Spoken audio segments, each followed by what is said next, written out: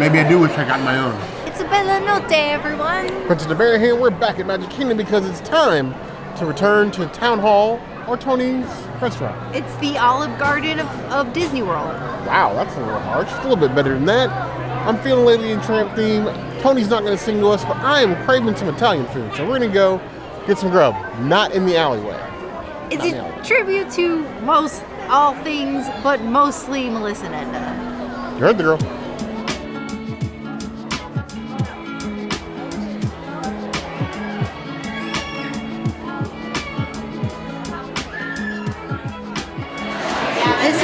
Limoncello sidecar. Now, this is the only vegan specialty of the three specialty drinks that they have. And then there was a little Italy one that Bear was gonna get, but they don't, they can't confirm the mango and that it's not vegan. So you're only gonna get two of the three specialty drinks with us. But here we go.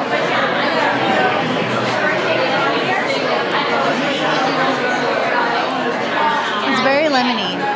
It's almost like the lemon meringue. If you ate a lemon meringue pie, but you only ate like the lemon curd portion, it's basically that in this drink. I love lemon meringue pie, so I'm here for this. And like as a lemon lover, I'm gonna give it a four and a half out of five. But like, if you don't like tart, you're gonna hate this. And I would say like for the average lemon enthusiast, it would be like a three out of five lemons.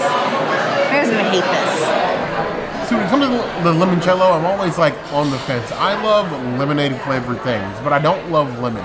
I know that it's this weird sort of confliction, but I just do not love lemon unless it's lemonade. I also don't like sidecars. So I was happy to let the princess order this one because I honestly didn't want anyone near it. And of course she had to order it. Because it's the only vegan one they have. Now I gotta drink it anyway. I'm not excited. Smells like pledge.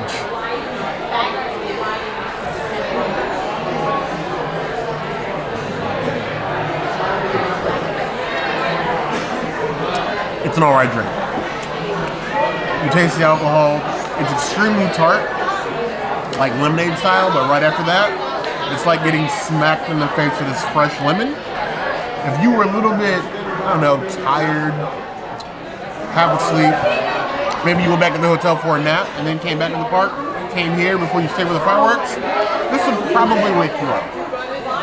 For me though, it's a two and a half out of five claws. I would not order this, but there is a strong bias built into that rating.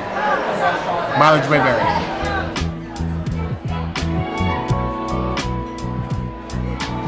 Here we have the sparkling peach cocktail.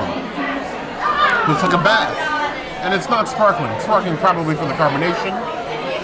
Smells like peach. Now they did check this to make sure there was no mango in it. They do have another Little Italy cocktail that obviously I can't have because they're worried about killing me, which is great.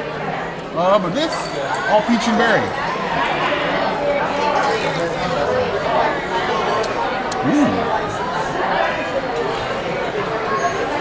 It's basically peach puree and prosecco.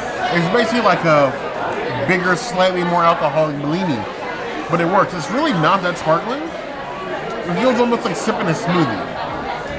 Three out of five blocks.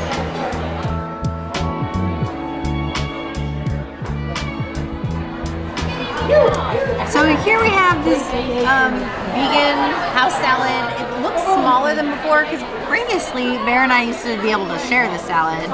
But it also now has some fried um, chickpeas on it, which I'm not mad at. I love chickpeas. I'm going to take an extra large bite of this salad. Cheers. I really love the crispiness of the chickpeas, but none of this is seasoned. It's bland AF. It's like watered um, dressing, if there's even dressing on this at all. It needs pepper. It needs something. It's like it doesn't even compete in this salad, best salad around Disney World, like Quest Oberon. This is like this is like with the first time you learn how to make salad, but you don't know how to dress it properly. So you just like accidentally water down your dressing. This is is a one out of five salad. This doesn't even begin to toss my salad. This is like um like a tea. in the tossed. Like you're not even trying to toss my salad. You just you just failed. You just failed. And and I'm not gonna. I'm, you are gonna be a shamed salad tossing. I'm not gonna tell anybody that you toss my salad. I'm not even gonna try. I'm gonna try to hide that as much as possible. It's just that bad of a salad tosser. It's not good. It's sad because the princess and I do normally share this salad. For Some odd reason this time we're like, maybe we shouldn't do that. Now I'm glad I didn't. This thing just looks sad. The color, like, it's just some greens and some purples with some chickpeas. There is some zucchini in here, but like, look at that. You're- Actually, no, it's a half a piece stuck together. Cucumber. It is, um, this thing's looking like it's got some problems at its base, at its core. Can I can I get a chickpea? Can a brother can a brother get a chickpea? There we go. One single chickpea that fell. Not meant to be, I guess. I got one. The chickpea give them a little crunch. I take it from people that make chickpeas at home very often. Seasoning chickpeas is not hard, especially when they're roasted like these are. It's like a, a salad with a no-name vinaigrette. Like I'm getting nothing. I'm getting no payback for my healthy choice. When you're gonna give me a healthy choice, give me something to celebrate. This just makes me want to go sit in the alley with the dogs. One and a half out of five claws. It's edible, but you're not getting you're not getting anything out of it. Representing for the vegetarian family out there, I got the caprese. You got these nice big pieces of mozzarella on top of these huge tomatoes, peppers, and this pesto sauce. This is good. Like I was expecting like two tomatoes. This could almost be a meal if you wanted to go light. Just go ahead and uh, give it a little cut.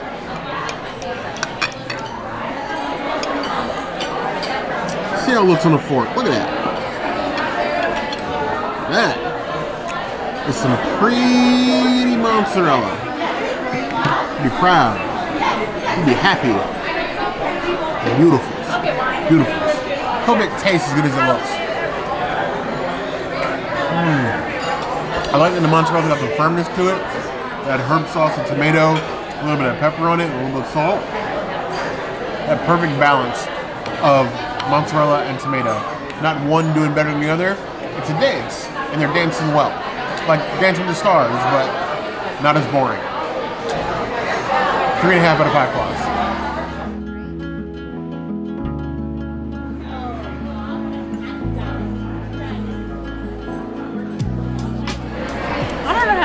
Been to Tony's. I want to say at least four.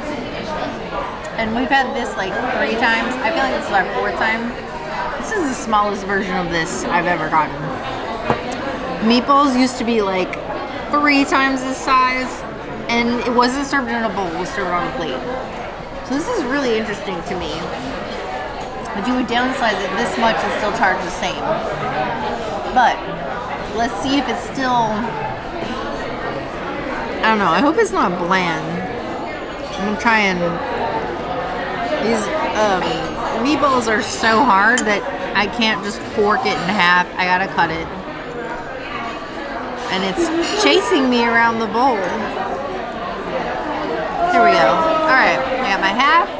Now I gotta get my pasta. Let me go ahead and get that. Oh, lost it. Retry that. There we go. Cheers. It's basic.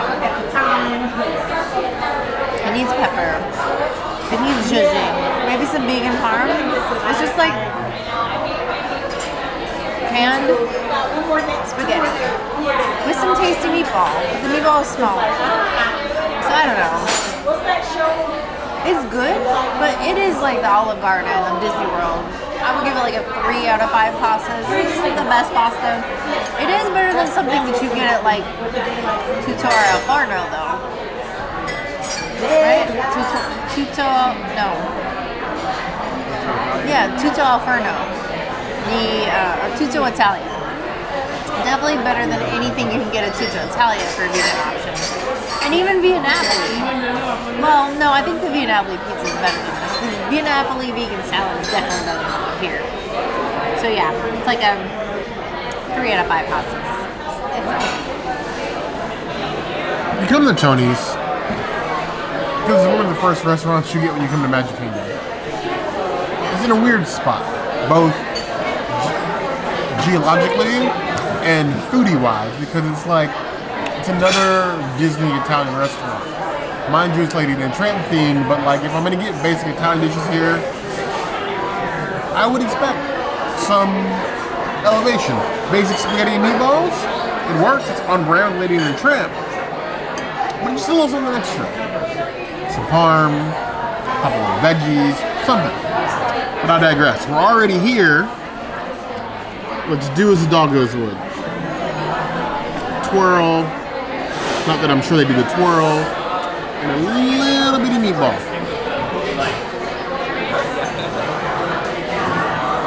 I like the meatball. The meatball is given Italian meatball. It's not blowing me of the park for plant-based meatballs. I think usually have better meatballs at the um, festivals at Epcot, but it works in, in as far as spaghetti. Spaghetti itself, I'm gonna say this in the nicest way possible. It's giving me Maria and Enzo vibes, and if you've been around for long enough, you know those aren't good vibes. But it's spaghetti. You're craving spaghetti. Maybe your aunt's unseasoned spaghetti sauce. Might be for you. It might not be for you.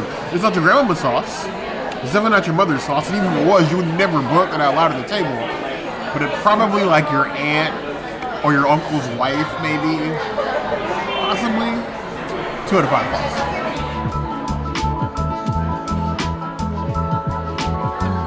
Here we have the sustainable fish. I don't know what I was expecting because on the menu it was saying uh, something like an eggplant carpario and stuff, but basically it's ratatouille with salmon on top. There's some onions, you got some scalloped potatoes here. It's a pretty looking dish, it's plated very well. Um, but and it's a significant log of salmon. We're gonna go ahead and just cut into the salmon first. Because if you ruin salmon for me, as a bear, I'm probably gonna come for you. Well, it's very moist, falling apart. Don't even need the knife. Let's give that a taste.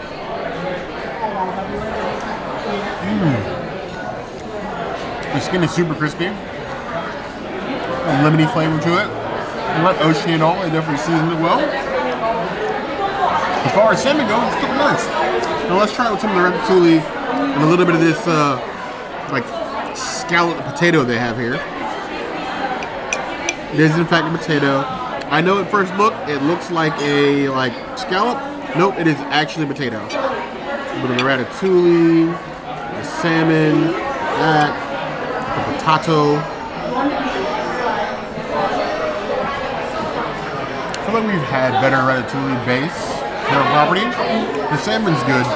The fixings, eh, ratatouille just feels like tomato ragu like on a plate. The potatoes are good, nice and crispy skin. I would say it's average. It's two and a half out of five points. If you're really craving coming to Tony's, maybe you need dinner because you want to be at the park here late, like tonight we're open until midnight. It's a meal that's definitely going to fill you up for the entire night. Like you're definitely going to be full. But if you're craving like Italian food, there are far better choices in Disneyland property. Far better. Three out of five plus. We always, for Italian food, if you're craving Italian food, recommend Trattoria al Forno. Like that's one of our favorite Italian restaurants on property. After that, even if you were to go to Italia, I think it's a better choice than here. Uh, after that, I'd probably say mm, Mama Melrose has like some Italian vibes, but it's not really. It's like Italian light. Still better.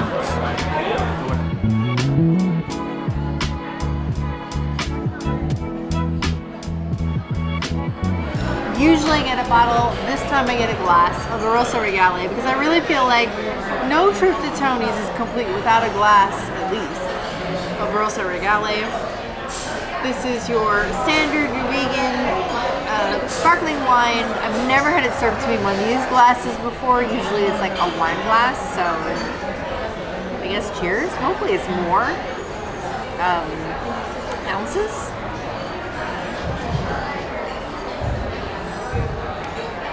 Consistently good. Three out of five roasted galleys. It's gonna be good with dessert. I don't know how I feel about wines in a cocktail glass. It feels, it feels wrong. It feels off. Especially in a restaurant supposed to be like a little Italy. It feels wrong. Here we are.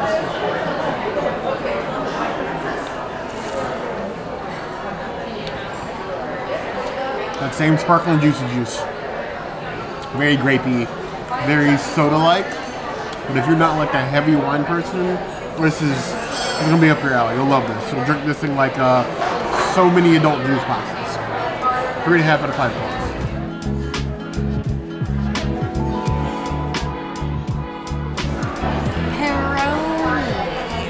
Bear got this once at like um, Enzo's Hideaway and he hated it. I think. I think that was it, or it was Marine one or the other.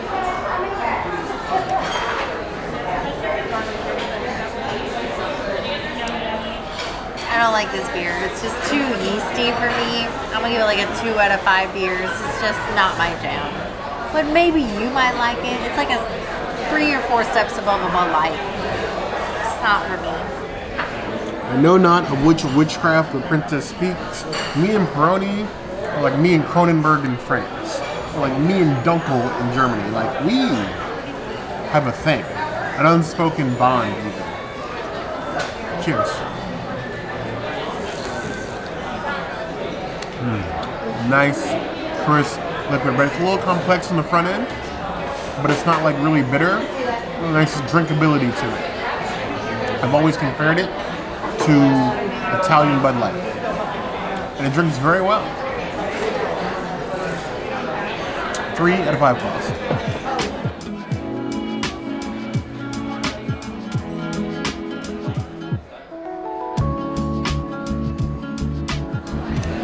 Strawberry shortcake with basil. Almost as beautiful and delicious looking as Hoop-Dee-Doo. But we'll see, because Hoop-Dee really has the best strawberry shortcake. Go with one of my ginormous bites. Mmm. Mmm. So good. So delicious, tender, moist, tasty, fresh strawberries, fresh basil. So good. Like number two to the best strawberry shortcake. Hoop-Dee is still number one. I don't think anything can beat Hoop-Dee. This is still a four and a half out of five. Strawberry shortcakes, it's pretty tasty. I'm not a dessert connoisseur. You guys don't know that. I only try desserts because you guys want me to try more of them. So I'm willing to share with the princess. There was no way in the world I was going to be able to finish my own dessert. Even by itself, this is way too much for me. I love strawberries. I do sometimes like cake. How bad could it be? Oh, oh, all the layers. I think the best part about this is I don't detect any hint of like that plant-based aftertaste you get with like some cakes. It's nice with cream, strawberry, the basil has a nice touch on top of the sweetness with the cake. Maybe I do wish I got my own. Four out of five plus. Maybe just come and drink some dessert.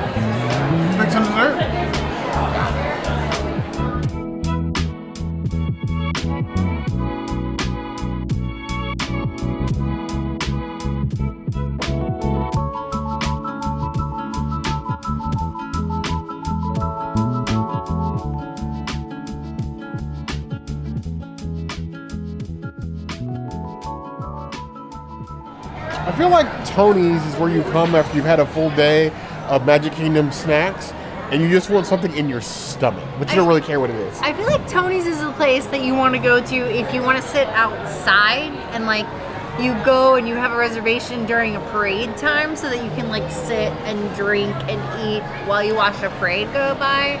But outside of that, it's just an overpriced Olive Garden with less less better food. Calling Olive Garden almost feels like an insult to Olive Garden. The food is food. Like, don't me wrong, it's edible. You're not gonna get sick. You're not gonna go and puke it all in the toilet. But Um, I just want to say that the focaccia bread portion has gotten so freaking tiny. Like we didn't order it, obviously, but like we saw other tables around us, and like it's basically been sliced in half, and like it's like five little like half pieces of focaccia. So it's like literally a third of what it used to be. We're watching you, Disney. We're watching you. But if you want to come out in defense of Tony's, by all means, the comments places to let us know. Listen, and I'm sorry, but the food here is not fantastic. Not feeling it. But if there's anything else you'd like to see us do, of course, as your number one choice in foodie infotainment, the comments is always in a place to find us. Hit the notification bell if you want to see other videos like this, and We have new videos five days a week: Monday, Tuesday, Wednesday, Thursday, Saturday. Hey. we will see you soon. Like this video. And if you don't comment, Bear's gonna yeet himself into the Christmas tree. This bear don't climb trees, but you heard the girl.